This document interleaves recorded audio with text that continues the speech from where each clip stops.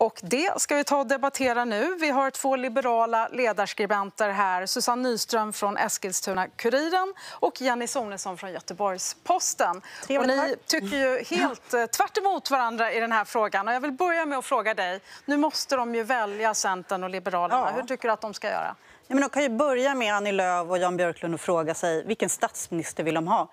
Vill de ha Stefan Löfven eller vill de ha allianskollegan Ulf Kristersson som statsminister? De måste svara på den frågan. Och det är fullständigt bisarrt. Här har man drivit en hel valrörelse med vallöftet att avsätta Stefan Löfven. Och nu vill man eventuellt installera honom vid makten. Och om man gör det, då är alliansen död. Vad säger du? Nej, men ytterst är det ju så här just nu att det finns två stycken val som man kan göra i regeringsfrågan. Och det ena det är att eh, några borgerliga partier och Sverigedemokraterna bildar regering. Det andra det är att några borgerliga partier blickar över blockgränsen och bildar regering med Socialdemokraterna och kanske med Miljöpartiet. Och om man ser då till vad Liberalerna och eh, Centerpartiet lovade sina väljare i valrörelsen, då var det att eh, ett förstahandsval det var att bilda en alliansregering. Men om det inte gick, vilket det just nu inte verkar göra, då skulle man blicka över blockgränsen och eh, försöka söka stöd hos Socialdemokraterna och kanske hos Miljöpartiet. Vad säger du om det här alternativet då, att man skulle släppa, att man skulle släppa fram en mindre, en moderat, eh, renodlad moderatregering eller MKD, släppa fram den men inte sitta med själva så att säga?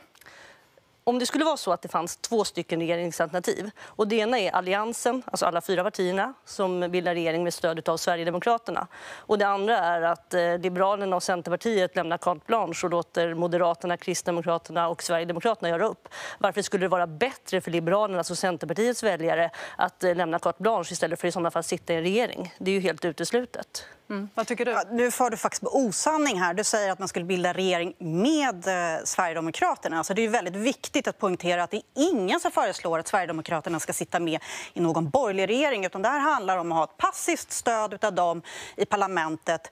Och de har ju, Sverige, och Jimmie Åkesson har ju till och med sagt att han vill inte ens förhandla. Utan det är på några punkter han vill ha politik som han tolererar. Och vi kan ju se att i det folkvalda parlamentet idag så var väljarnas röst väldigt väldigt tydlig. Det finns en mycket tydlig majoritet för en icke-socialistisk regering. Och för mig är det obegripligt att du som är liberal vill ha socialistisk ekonomisk politik. För att vi kan se nu att det är en lågkonjunktur som är på väg mot Sverige.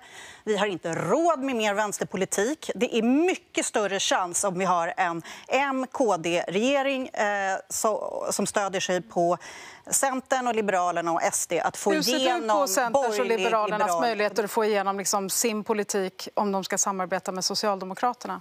Jag tror att det finns goda möjligheter att eh, bilda ett eh, konstruktivt samarbete.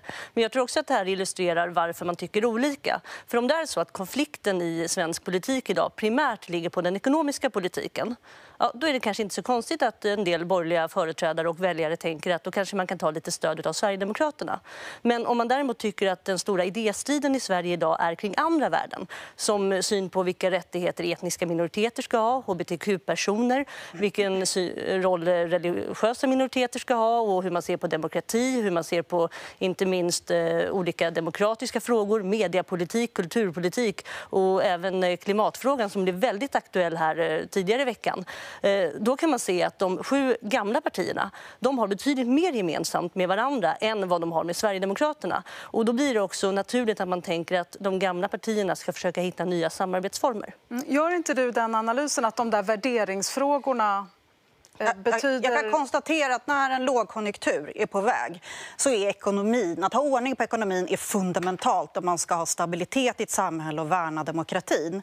Och det är ju faktiskt så att inte ens Jimmy Åkesson tror att man kommer börja förhandla om aborträtten eller om EU-frågor eller om mediepolitiken. Han har varit tydlig med vad det är han vill ha och det är en stramare migrationspolitik och en stramare kriminalpolitik och en mer välfungerande hälso och sjukvård. Och det är så att Susanne Nyström, ingen här vet vad, vad det innebär att ta stöd av Sverigedemokraterna. Man måste ju också ha, vara pragmatisk som, som eh, politiker. Man kan inte bara vara idealistisk. Och vad är det du är rädd för skulle hända om man eh, släpper in Sverigedemokraterna? så att säga? Det är just att de här värdena som jag just pratade om, att de skulle få stryka på foten när man börjar förhandla om den ekonomiska politiken eftersom det ofta är kring de frågorna som Sverigedemokraterna vill ha inflytande. Och om man tittar på hur det är i andra länder i Europa där eh, högerpopulistiska partier har fått inflytande då är det just för att de eh, borgerliga partierna har släppt in eh, de populistiska partierna. Och där har också vissa rättigheter, exempelvis inom public service men även eh, inom eh,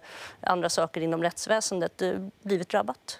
Mm. Men demokratin har ju knappast fallit i Danmark, Norge och Finland där liknande partier som Sverigedemokraterna har eh, släppts, släppts fram och till och med sitter i, i regering. Så att vi ska inte titta på Ungern utan vi ska snarare titta på våra grannländer. Sen måste man ju ha självförtroende också som borgerlig politiker.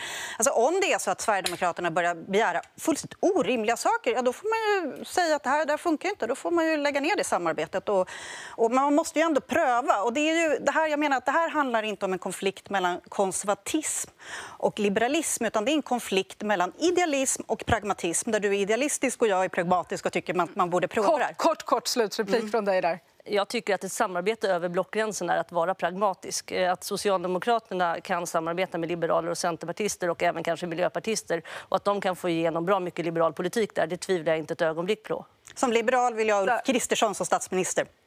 Tack bägge två. Vi får se vad beskedet blir från Kristersson på tisdag.